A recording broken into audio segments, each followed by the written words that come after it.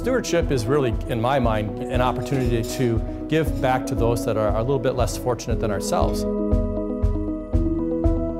Kohler is a huge contributor globally, and World Vision is something that they have been giving to over the years, so that we wanted to do something more personal as a collaboration event. We packed backpacks for World Visions. It was a team building event for the corporation, bringing in their employees from all over the world and then sending these backpacks out into the regions to help those in need.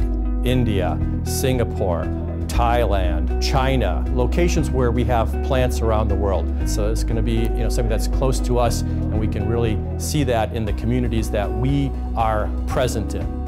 We have adopted this village in Jagadia, which is in India. The children actually are so poor that they cannot afford this, so it will be a luxury for them.